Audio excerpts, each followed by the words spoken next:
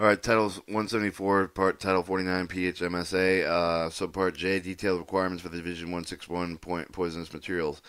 174 600 special handling requirements expressed for the material extremely poisonous inhalation. Text containing material extremely poisonous inhalation which the, uh, by inhalation division 2 3 material the, the zone A division 6 1 material the hazard zone A the defined specified in 173 133 A2 for the subchapter may be transported rail. Unless it is originally consigned the subsequent recognized the party to have the private uh, track on which it to be delivered and loaded with the statute 171 8 of the subchapter of the party using the party using the railroad siding the facility to equip with the piping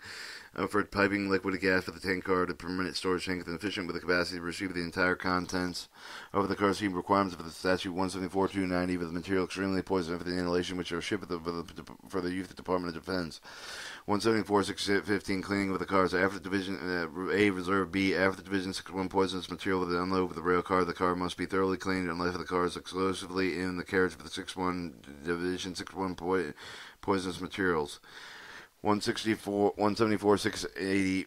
Division 61 poisonous materials with the food stuff. Um, except for the provided in paragraph B of the section, a carrier may not transport any package during the poisonous or poisonous inhalation has labeled in the same card with any of the material marked as known as to be foodstuff feed or any edible material intended for the consumption by human or animals. A carrier must separate any packaging bearing poisonous label displaying, this, this, um, displaying PG3 or bearing PG3 must be most adjacent to poisonous labeled materials marked as known as foodstuff feeds or any other edible material that intended with the consumption by humans or animals required in Statute 174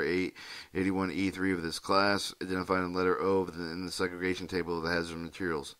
Subpart K, detailed radioactive um, materials.